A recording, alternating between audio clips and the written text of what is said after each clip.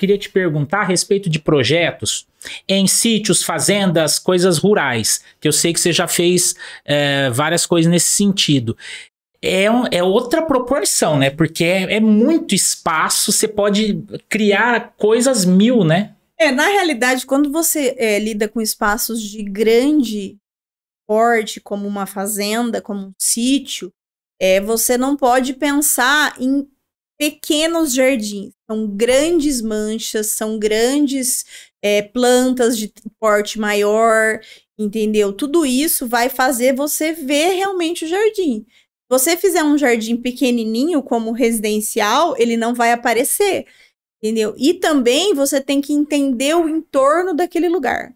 Por exemplo, uma fazenda, ela às vezes tem gado, você entendeu? Ela tem você, animais soltos. Você vai pôr uma planta que o bicho vai, vai comer. comer. Ele pode passar mal. Você entendeu? Ele, você vai plantar uma frutífera que vai dar um fruto que pode passar mal o gado. Então você tem que ter um conhecimento de como funciona aquela fazenda para para poder fazer esse paisagismo. Na questão de fazendas, casas e tal, esse advento de frutífera que citou. Antigamente não se via tanto falar de, de ou eu estou enganado, mas hoje todo mundo quer alguma frutífera no projeto, é, né? Na realidade, assim, eu vou te dar um, um, uma, uma coisa que a gente percebeu muito com o passar do tempo. E é, com a pandemia, que a gente passou, todo mundo ficou recluso aí nas suas casas. Nós começamos a dar valor, a maioria das pessoas começaram a dar valor no, no em ter a sua fruta, em ter a sua horta, em ter os seus legumes.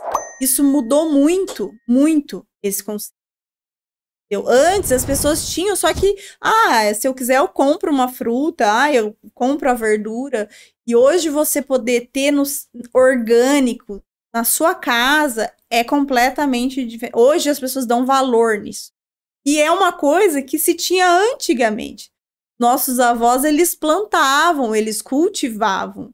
E aí veio essa questão da economia, de industrializado e tudo mais, e meio que tirou isso e todo mundo quis tudo fácil. Aí agora tá voltando novamente essa questão do cultivo, você ter uma coisa que não tem agrotóxico, que ela é totalmente limpa de tudo uma isso. Uma alimentação mais saudável, uma alimentação né? saudável. Hoje as pessoas buscam essa alimentação saudável. E você comer uma fruta no pé é completamente diferente de você comer uma fruta, uma fruta comprada no mercado. Nós passamos por uma viagem recente do qual a gente teve várias Pêssegos. experiências de sabores, né? Que são assim, não são, não tem como comparar. Nós fomos, pessoal, numa, numa viagem para o sul agora, e nós fomos em Pinto Bandeira, acho que é, e comemos pêssego do pé. Só que assim, você, se já teve essa experiência, maravilha. Eu não tinha tido do pêssego.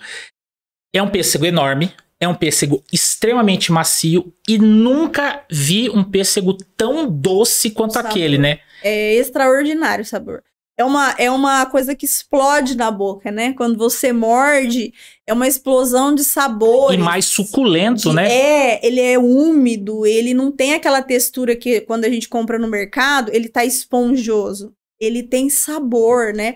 A ameixa, lembra? Nós comemos ameixa, deliciosa, é diferente da ameixa. É que assim, você tem que pensar que essa fruta, ela passa por um processo até chegar no mercado. Né? Ela passa por um processo de limpeza, né? De, de controle de qualidade e tudo mais. Tem que ser colhida antes é, para poder chegar. Né? Exatamente. Né? Quando você colhe uma fruta que está madura no pé, ela está no ponto para ser comida. Quando você compra uma fruta no mercado, ela foi colhida verde para ela chegar ali madura. E aí que tá a diferença, porque ela amadureceu sem estar tá no pé. Então ela não puxou a, os nutrientes da, da planta, que vai dar esse sabor.